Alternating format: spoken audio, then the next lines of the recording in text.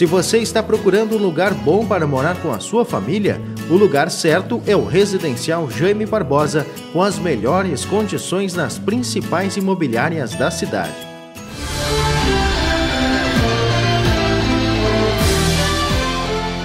A greve dos professores da rede pública estadual segue sem definições. Desde a última sexta-feira, 13 de maio, boa parte dos professores do estado aderiram à greve e estão recebendo o apoio de alunos que também reivindicam melhorias na educação do estado. Em TAPES, a situação é um pouco diferente. Das cinco escolas estaduais, apenas no Instituto de Educação Coronel Patrício Vieira Rodrigues, oito professores aderiram ao estado de greve. Infelizmente, nós estamos em greve. É um ato radical, né? Radical pelo seguinte: nós, professores, que levamos aos nossos jovens uma mensagem de paz, amor e esperança, né?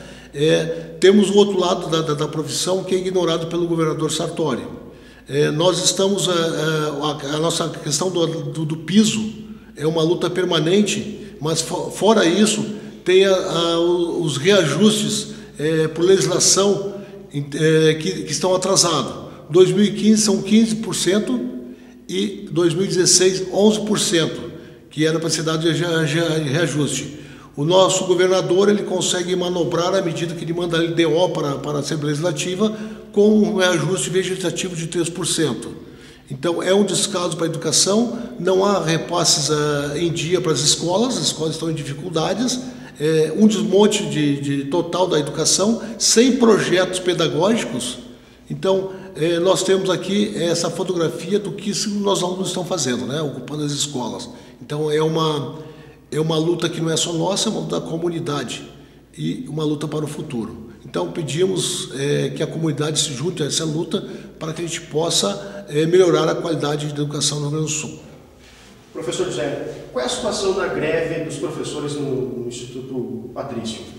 É, nós temos, é, em termos de, de, de, RH, nós temos prof, poucos professores em greve, outros estão conversando, uh, conversando para aderir à greve, então essa semana espera alguma solução deles. Né? Os professores estão, que logicamente que não estão em greve, eles estão dando as aulas, né? e depois a direção, é, esse é um ato administrativo, ela está anotando, as aulas estão sendo dadas para depois é, é, recuperar essa, essas aulas com os alunos. Né? Uh, como é que está a participação dos alunos? A gente viu em outras cidades que muitos alunos uh, estão junto com os professores, estão lutando junto com os professores a favor da, da, da reivindicação do, do CPS da categoria. Uh, como é que está TAPS?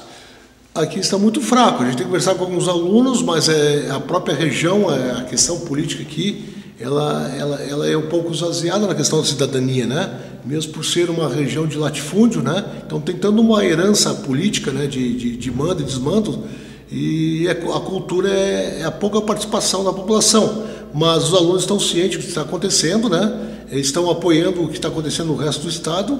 É uma, um ato de democracia, um ato de cidadania que os alunos estão fazendo. Hoje parece que tem mais de 80 escolas ocupadas, né? Então é isso.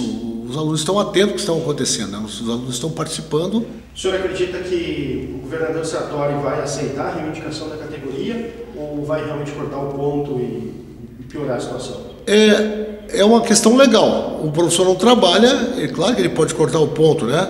É, pode até descontar, né? Normalmente não se desconta porque é negociado depois. Nós temos que, é, pela LDB, temos que dar o, 1.200 horas para o ensino, ensino médio, né? Então, na recuperação, é lógico que não, não haverá desconto. Mas isso é a cargo dele, né? Se ele, se ele radicalizar essa questão, ele, ele pode descontar. Eu acredito, então não trabalhamos, a, a, gente anota como está em greve, né? se identifica, é, então faz o desconto depois a gente recupera, né?